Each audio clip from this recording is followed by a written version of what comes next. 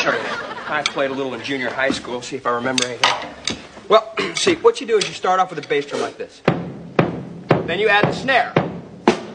Then you add the hi-hat. And before long, you get this.